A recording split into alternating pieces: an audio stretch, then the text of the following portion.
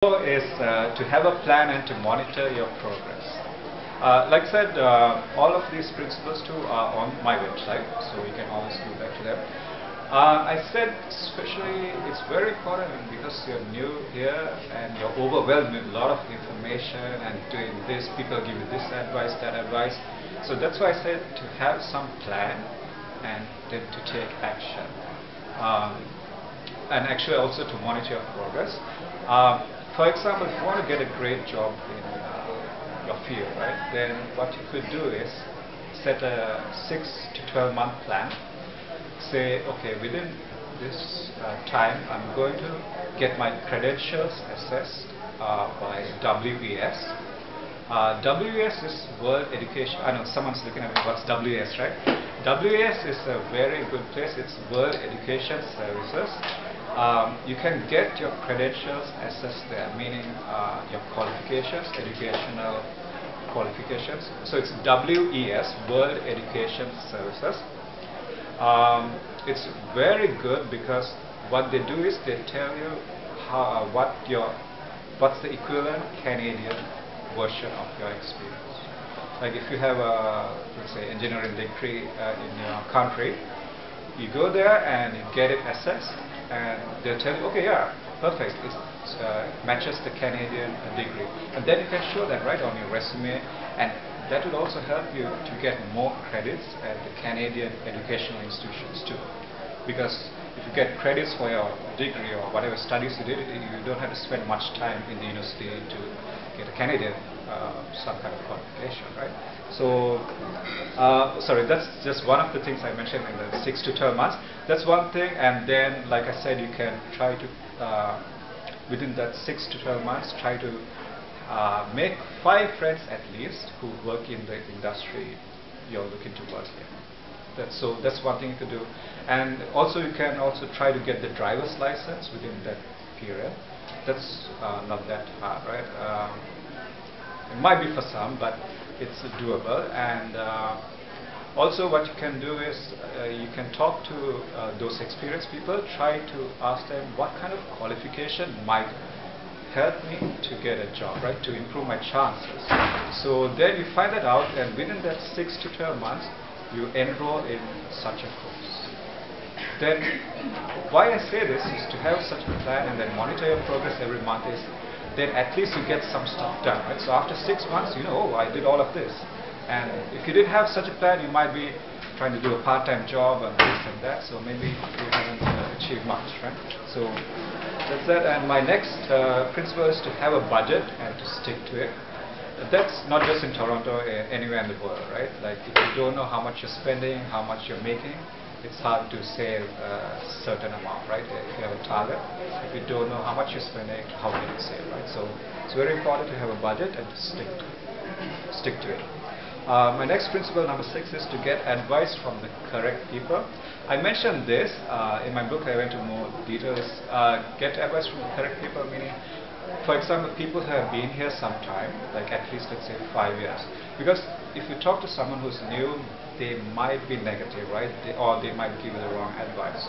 Uh, you know, so uh, because they might not have a good job and everything, so they might be negative, and that might be bad for you to you take on that negative energy. You have to be positive always, right? So one thing is someone who's been here for some time, and another criteria would be someone who already works in your industry. That's a good criteria and also someone who's willing to help. Right? Some people, I don't know why they they're not willing to help. So that's one thing you can look at. Um, next one, I'll mention number seven and eight together. Number seven is firmly believe you will succeed. Believing in yourself is very important. If you talk to or uh, listen to any celebrity, that's one thing they will tell you to have firm belief that you will succeed.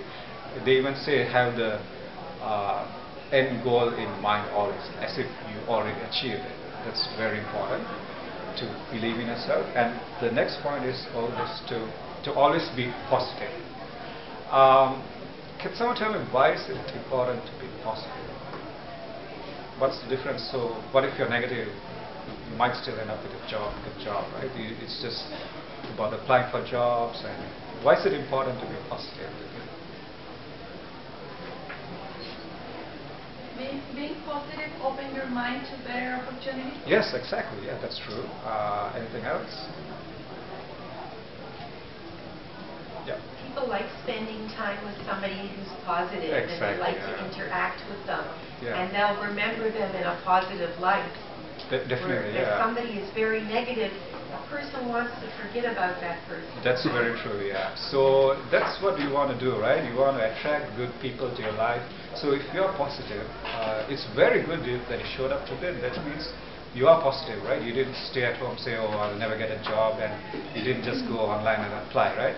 Um, so it's very important to be positive. You attract positive people to your life, and they might be more willing to help you too, right? Because they know oh, looks like he will succeed soon, so why don't I just help him? And also, like you said, people want to be around you. If people don't want to be around you, how can I help you, right?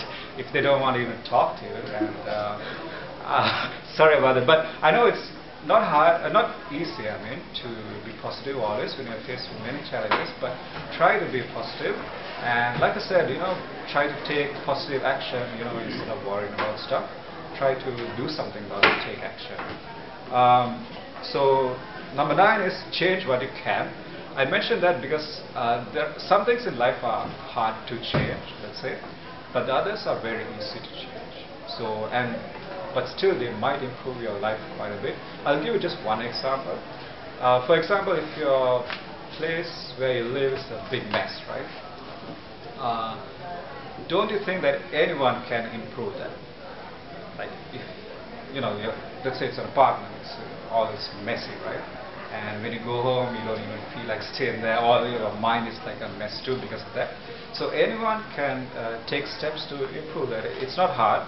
And let's say if you if you're not good at it, you can at least read something about it, and but just fix it, right? So even something like that will improve your life. So that's one problem.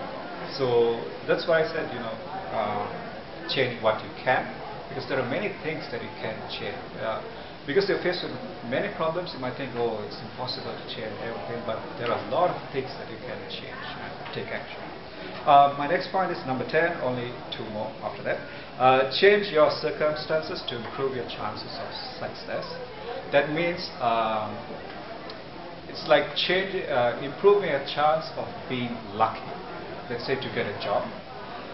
Uh, for example, if let's say I'm new to Canada and I just apply online for jobs and uh, I'm waiting for someone to call me, right?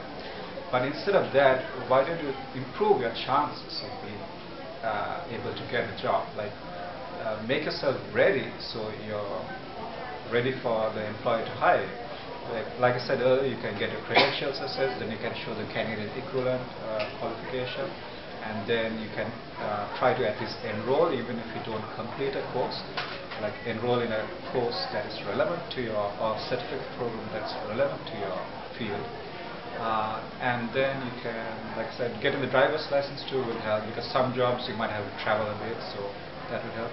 Like that if you slowly take steps to improve your uh, chances of getting the job that's what I mean.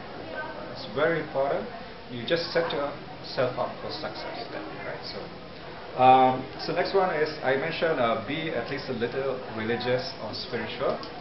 Uh, I mentioned that uh, you could go read my book for more details, but I just mentioned it because uh, as far as I know, every religion tells you to be a good person, right?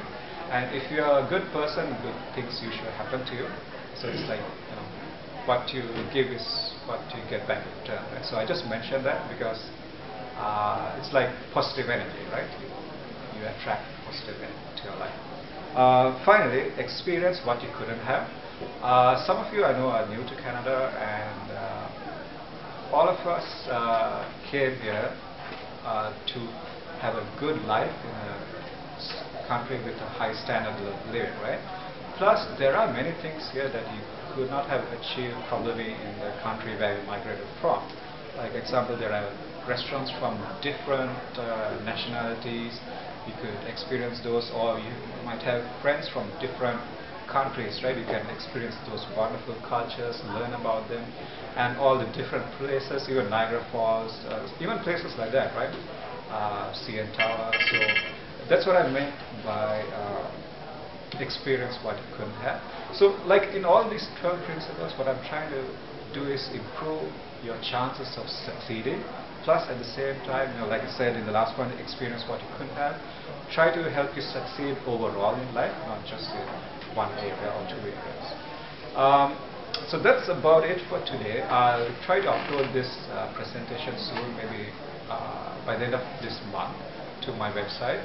And also, finally, I would like to leave you with one uh, statement. One important thing is that if you know what you need to do to succeed, right? If you know, okay, if I follow these steps, then I will succeed, or at least I'll have a higher chance of succeeding.